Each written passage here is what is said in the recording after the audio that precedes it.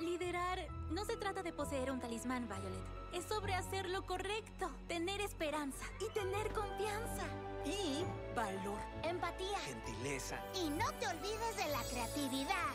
Tú demostraste tener todo eso. Está bien, sí lo haré. Lideraré Cumbre Luz de Estrella. ¡Sí! ¿Ahora qué? ¿Cómo se irán a casa?